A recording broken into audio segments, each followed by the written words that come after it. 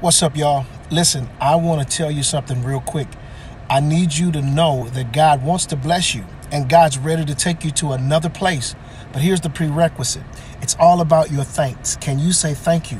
Because if you can't say thank you when you don't have enough, you will never be positioned or put in the place to receive more than enough. God's ready to take you to the next level and bless you real good.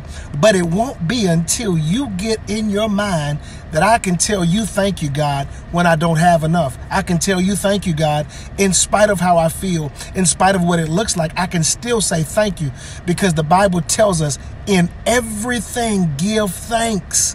So thanks is your access to more than enough. If you're looking for more than enough, give thanks. If you're just looking to get enough, you just continue to go around and say, oh, I don't have it and complain. But I want to tell you the key is saying thanks.